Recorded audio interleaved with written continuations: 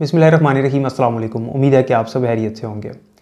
Matric और intermediate के इम्तहानात के हवाले से 10 पॉइंट ग्रेडिंग सिस्टम को मुतारफ़ करवाने की तजवीज़ पेश की जा रही है, जिसमें ये कहा जा रहा है कि अब जो ओल्ड मार्किंग की पॉलिसी थी, यानी जो मार्क्स आपको दिए जाते थे, उसको ख़त्म करके ग्रेडिंग सिस्टम मुतारफ़ करवाया जाएगा, जिसमें आपके पास 96 परसेंट टू 100 परसेंट में अगर आपकी परसेंटेज आती है तो उसके लिए ए प्लस प्लस ग्रेड दिया जाएगा 91 से लेकर 95 परसेंट के दरमियान ए प्लस ग्रेड होगा।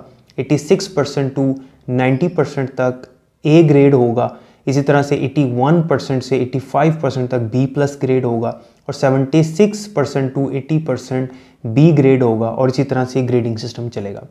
मार्किंग पॉलिसी जो है, उसको चेंज करके, यानी मार्क्स लगाने की बजाय अब ग्रेड सिस्टम लगाया जाएगा और इसके अलावा ये भी एक तजवीज़ है जिसके ऊपर गौर किया जाएगा आईबीसीसी की मीटिंग में और इसका फ़ैसला जैसे ही आएगा, मैं आपके साथ शेयर करूँगा कि उन्होंने इसके ऊपर क्या फाइनलाइज़ किया है, उसकी समरी भी आपके साथ शेयर की जाएगी इन इसमें ये कहा जा रहा है कि अब मैट्रिक और इंटरमीडिएट में भी जीपीए रखा जाएगा, जैसे यूनिवर्सिटीज़ के अंदर जीपीए सिस्टम होता है। इसी तरह से यहाँ पर मैट्रिक और इंटरमीडिएट में भी जी सिस्टम को मुतारफ़ करवाया जाएगा। एक बुरी खबर है स्टूडेंट्स के लिए, वो ये है कि 33 परसेंट की बजाय अब ये इस बात पे गौर किया जा रहा है कि 40 परसेंट जो है वो पासिंग मार्क्स कर दिए जाएँ।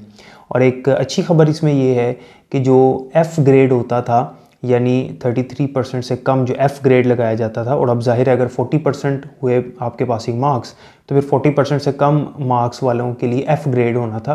लेकिन अब एफ़ ग्रेड की जगह पर यू ग्रेड सिस्टम लगाया जा रहा है। इस मीटिंग में एच e के जो चेयरमैन हैं, उनको भी जो है स्पेशली इनवाइट किया गया है और उसमें ये बड़े फ़ैसले किए जाएँगे और अहम फ़ैसले होंगे पूरे पंजाब के मैट्रिक और इंटरमीडिएट के एग्ज़ाम्स के हवाले से।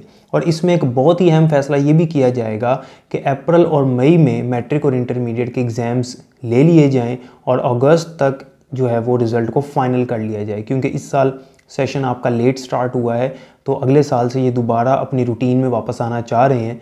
इसलिए इनकी कोशिश है कि अप्रैल, मई में इनके पेपर्स मैट्रिक और इंटरमीडिएट के कंप्लीट कर लिए जाएँ। इसके हवाले से जो भी फाइनल डिसीज़न होगा, वो आपके साथ शेयर कर दिया जाएगा। याद रखें, ये तजावीज़ हैं जो आईबीसीसी की मीटिंग में पेश की जाएँगी। इसमें जो भी फाइनल डिसीज़न होगा, वो थोड़ा सा अमेंड भी हो सकता है और हो सकता है यही वाला डिसीज़न हो, वो भी आपके साथ शेयर किया जाएगा।